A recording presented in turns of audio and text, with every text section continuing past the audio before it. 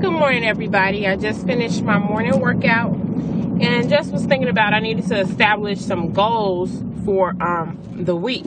Um, like I, I did um, vlog the other day about how I have a real problem with eating and snacking a little bit too much and my um, frappe addiction. So um, this week, like I said, I'm gonna really concentrate and focus on slowing down on the snacks, being careful what I eat, and um, it's not. I don't eat a lot as far as food or um, cook unhealthy. I'm, I'm, pretty good at, you know, when I'm cooking meals and stuff for the family. So that's um, not a, not a concern. My concern is just making sure I don't do too much snacking and I lay off the frappes during the week and um, possibly just treat myself on Friday.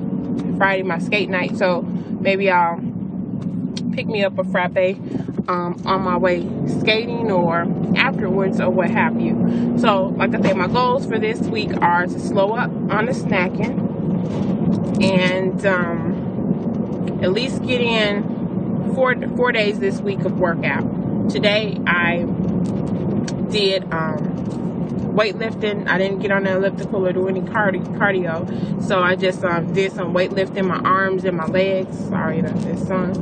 Um, arms, my legs, and then I did the ab coaster.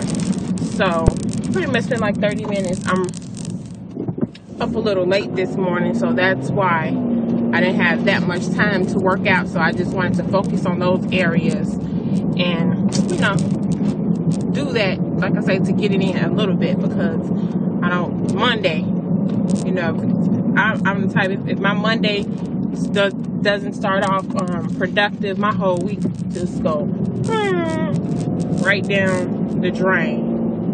So that's about all. Um, I hope everybody's going to have a great week, a great Monday, and um,